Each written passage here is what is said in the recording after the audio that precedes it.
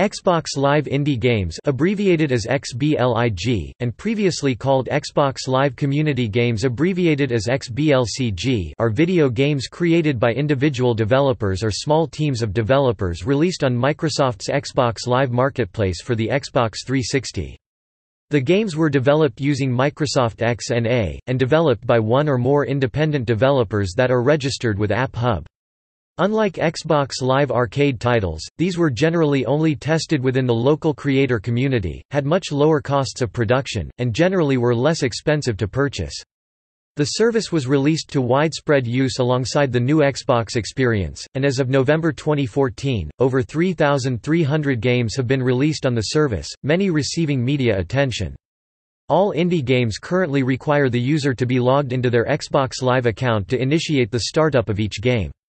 Indie games were not available in Australia, due to the requirement for all games to be rated by the Australian Classification Board, and the prohibitive expenses involved. The Xbox Live Indie Games program did not continue with the release of the Xbox One, and the marketplace for these games was shuttered in October 7, 2017.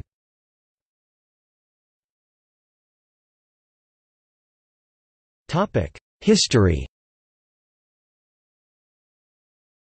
Initial tools for the development of games on the Xbox 360 platform were bundled in the XNA Game Studio Express 1.0, released in December 2006, as a means of introducing newer programmers to the steps in game programming. Additional releases of the XNA Game Studio added further features with the core software libraries, but the created games were limited to the developer's own console unit and could not be shared with others. During the Game Developers Conference in February 2008, Microsoft announced that it would be bringing the Xbox Live Community Games service to Marketplace, allowing these games to be shared with others. According to Microsoft's David Edery, portfolio planner for Xbox Live Arcades, the company envisioned the community games as a way for programmers to bring niche experimental games to wider attention without justifying the cost of a full arcade title with only a limited audience, while still potentially earning some money for the effort. Edery also cited the community games as a potential differentiator from either of the PlayStation Store and WiiWare services. A closed beta of community games was introduced on May 21, 2008, limited to premium members of the XNA Creators Club. Community games were introduced with the new Xbox experience on November 19, 2008. Upon the release of XNA 3.1, Microsoft changed the games to Xbox Live Indie Games with hopes that it will help increase the understanding and discoverability of user-created games. After the fourth quarter dashboard update in 2010, the Indie Games tab on the marketplace was moved to the Specialty Shops section of the dashboard, away from where regular Xbox Live Arcade titles would be shown. Independent developers that published through the Indie Game service were concerned that this move reduced the visibility of the games, leading to lower sales and fewer incentives to develop for the series. Microsoft stated that the move was designed to benefit independent game developers, highlighting such games through the Specialty Shop tab. However within a week, Microsoft quietly reverted this change, moving the Indie Games tab back to the main Game Marketplace section. Currently, the most successful game on XBLIG is DigitalDNA Games Castleminer Z, which was the first title on the service to reach 1 million paid downloads.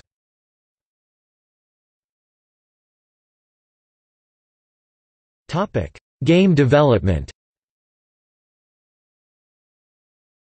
Xbox Live indie games were developed under certain distribution restrictions, the binary distribution package must be no larger than 500 MB, upgraded from the original 150 MB, as of January 4, 2012. The games are priced at 80, 240, or 400 Microsoft points approximately $1, $3, and $5, respectively. Games larger than 150 MB previously larger than 50 MB must be priced at least 240 Microsoft points as of the January 4, 2012 update. Prior to the August 2009 update, the pricing structure was set at 200, 400, or 800 Microsoft points approximately $2.50, $5, and $10, respectively. An 8-minute trial period is enforced for indie games, after which, if the player has not yet purchased the game, the game will end and inform them they need to purchase the full version to keep playing. The developers have no control over this trial period. This limit was initially 4 minutes but feedback from players and developers extended the trial period. XBLIG titles lack some of the features found in XBLA games. XBLIG games do not have achievements or leaderboards, nor are they listed on a player's gamer card. However, such games can be integrated with other parts of the Xbox Live experience, including using multiplayer support, game invitations, and game information on friend lists. XNA also includes support for party chat and Xbox Live avatars. XBLIG developers were only allowed to publish up to eight titles, but as of January 4, 2012, the limit has been raised to 20. Indie games were created and added to the Xbox Live service by a four step process. Create games are written in C Sharp or Visual Basic.NET using the XNA Game Studio framework, allowing the developers to debug and test their game internally before release. The final code is compiled into a single binary package.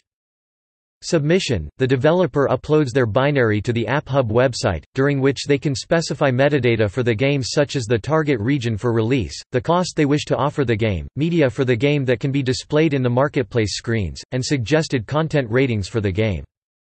Playtest, initially not part of the beta program for indie games, the playtest phase allows for developers to allow the game to be played by premium members of the App Hub for a week, giving them feedback which they can use to revise their submissions prior to the peer review process. Peer review – Indie games must undergo peer review before they are released to the service. These are performed by other developers on the Indie Games service, who review the game for unacceptable content, game instability, and other factors that would be detrimental for wide release on the service, though these reviewers do not attempt to qualify the quality of the game itself. Reviewers also provided suggested content ratings for the games, similar to the submission phase. Games require multiple trusted reviews before they are released. Rejected games can be resubmitted using feedback provided by the reviewers. When the program moved out of beta phase, which was limited to the United States, and into wide distribution, covering both North America and Western Europe, the peer review process was amended to include additional review for games that support multiple languages. Release – Games that pass the peer review are released onto the service. Developers receive 70% of sales of the game, with Microsoft retaining the right to an additional 10–30% of the sales if they have decided to market the game further. However, until they have worked out how to factor in the benefits of the marketing efforts, Microsoft has promised to maintain the 70-30th split for all games. With an August 11, 2009, update to the Xbox Live system, Xbox Live Indie games supported user ratings, a feature which was also applied to other content in the Xbox Live marketplace. Most XBLIG games had been developed by students or hobbyist developers, who have invested a minimal amount of money, including the yearly fee for the App Hub membership, to develop their games. However, at least one game has incurred much larger development costs. Biology Battle by Novaleaf, developed by Novaleaf Software, took 11 months to complete the game with development costs just under $100,000. The game was originally planned as a standard Xbox Live Arcade title, but was rejected by Microsoft about seven months into the project. Novaleaf decided to press forward and release the game as an indie game. Another game, Techno Kitten Adventure, was developed by a smaller developer, XMONOX, who then partnered with design studio Elite Goods to relaunch the game with gameplay improvements and ports to mobile devices. While distributing for XBLIG was relatively easy, games on the platform often made very small earnings, compared to other platforms, prompting many indie developers to move on from the Xbox 360 platform.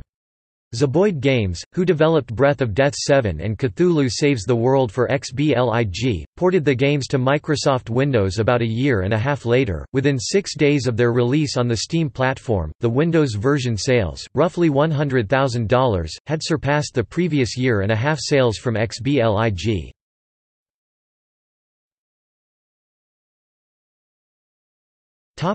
Promotions Developers had come together to promote Xbox Live indie games with community-driven promotions featuring select games, called the Indie Games Uprising.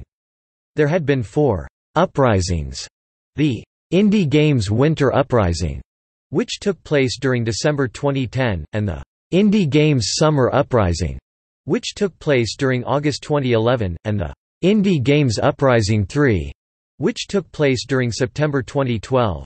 On September 28, 2015, the uprising returned with a tribute page showcasing developers that got their start on XBLIG and are now working on projects for Xbox One, PlayStation 4 and Wii U thanks to the platform.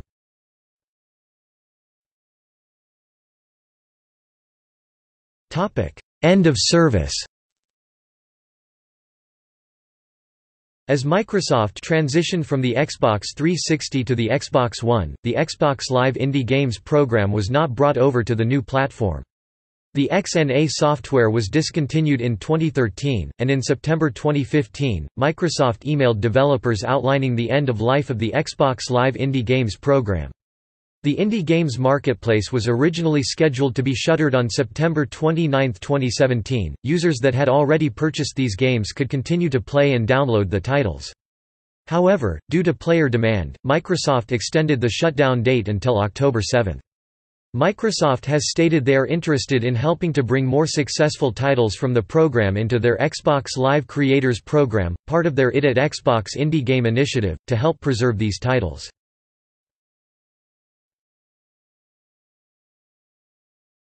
Topic: Notable games. Apple Jack. Avoglide Biology Battle. Blocks That Matter. Carnivale, Showtime. Castle Miner Chu's Dynasty. Flotilla. Fortresscraft. IMAEDAGAM 3W1THZOMB1ES1N IT 1 Kodu Game Lab Snops Attack Zombie Defense Solar 2 Techno Kitten Adventure The Most Addicting Sheep Game Total Miner Unicorn Makeout Mania Weapon of Choice Xenominer